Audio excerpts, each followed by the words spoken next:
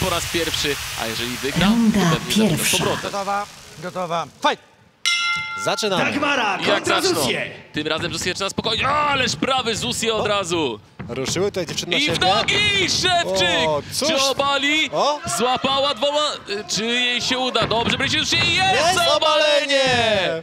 Wszyscy myśleli, że Szewczyk będzie walczył. Ale Coś- gilotynę zapina, zapina gilotynę Zusię. Tak, ale jest w półgardzie, więc nic to O, nie da. nie, nie, nie. Wyciągnęła głowę Szewczyk. Ale wstaje, wstaje, powinna wstać i to właśnie robi, trzyma tą gilotynę dalej. Wszyscy myśleli, czyżby ta gilotyna była Mamy naprawdę... dosiad, mamy dosiad. Piękna akcja Zusie! Wyszła O, na tutaj łapie ją zakrytami ręką, dłonią, jak tak. Czy sędzia zareaguje? Tutaj widzimy, że już nie ma tego.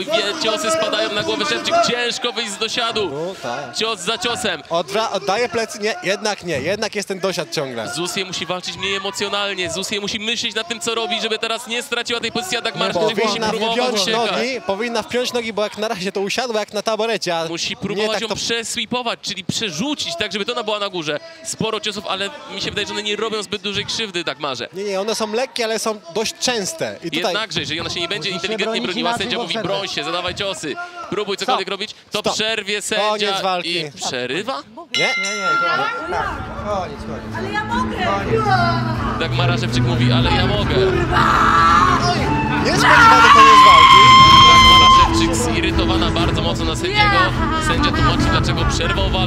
Wydaje mi się, że dlatego, że po prostu nie, nie broniła się i nie reagowała na polecenia sędziego. Sędzia mówi, o widzimy tutaj rzęsy, czyli jakieś znaki wojenne są.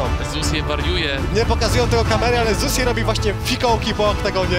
ależ wściekła. Widzimy, że tutaj razem z Dagmarą Szewczyk jest Maluba z dziewczyni projektu Lady, która również chciałaby walczyć w MMA. Tak jak jej chłopak. Tak jak Maciej Rataj, ale widzimy, że tutaj obie pani nie rozumieją, właśnie dochodzą się dalej. Chciałam. Cóż, te ciosy nie były tak mocne. Myślę, że myślę, że dużo osób zadaje sobie teraz pytanie dlaczego. I tutaj sędzia Bronder, tak? Tak jak tłumaczy tak Maciej Szewczyk? Że nie reagowała na jego polecenia, Nie po prostu sędzia mówi jeden raz broń się, drugi raz broń się. Jeżeli nie broni się trzeci raz sędzia, przerywa walkę.